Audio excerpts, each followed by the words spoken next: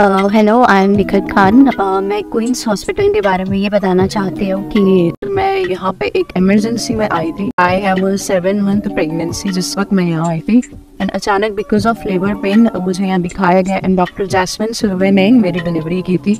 Premature baby था मेरा। सिर्फ़ 900 ग्राम्स की मेरी बेबी थी 27 वीक्स की।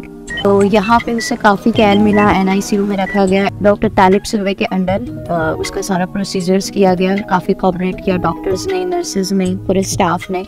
And I must appreciate all of them so I just say thank you to मैं इस्लामुद्दीन खान और आप देख रहे हैं प्रहार टाइम्स। मुमरा में हो रही ट्रैफ़िक जाम का ये नज़ारा हर किसी का सर चकरा देगा।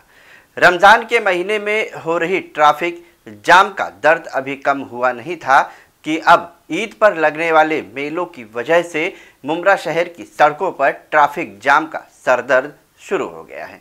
शंकर मंदिर मुमरा पुलिस स्टेशन, मित्तल के पास भारी ट्रैफ़िक जाम लगा रहा। शहर के एक जिम्मेदार नागरिक ने खुद ट्रैफ़िक जाम का ये वीडियो बनाया और सवाल उठाया है कि शासन प्रशासन की क्या ज़िम्मेदारी नहीं है कि शहर में त्यौहार के मौके पर लगे मेलों के बाहर रोड पर ट्रैफ़िक पुलिस खड़े रहकर ट्रैफ़िक कंट्रोल करे। ऐसे में इस जाम में एंबुलेंस भी घंटों फंसी रही। मगर एंबुलेंस ड्राइवर सज्जाद ने बताया कि इस एंबुलेंस में एक डेथ बॉडी है। अगर किसी मरीज़ को जल्द हॉस्पिटल पहुंचाना होता तो हॉस्पिटल सही सलामत पहुँच पाना इस जाम में काफ़ी मुश्किल था। ऐसे में रमज़ान के महीने में हॉकर्स पर उंगलियाँ उठ रही थी कि हॉकर्स की वजह से ट्रैफ़िक जाम हो रही है, मगर ईद के मौके पर तो मार्केट भी बंद है। मगर अब मेलों की वजह से बताई जा रही है, यानी कि एक जगह से राहत तो दूसरी तरफ़ से मुसीबत। किस तरह से ये ट्रैफ़िक जाम लगा रहा, आप भी ये मुमरा शहर में ट्रैफ़िक जाम जो लगा है इसकी तस्वीरें खुद देखें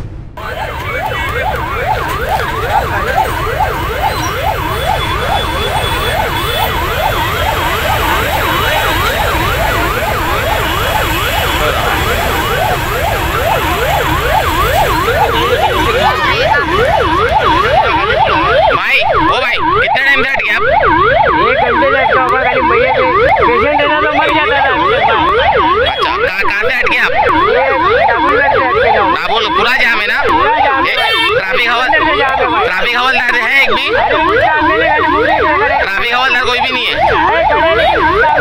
अच्छा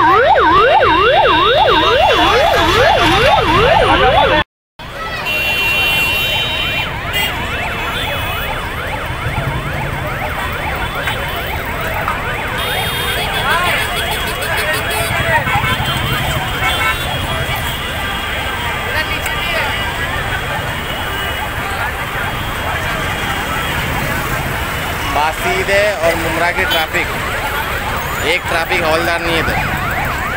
एंबुलेंस है वो कहता फंसी हुई है।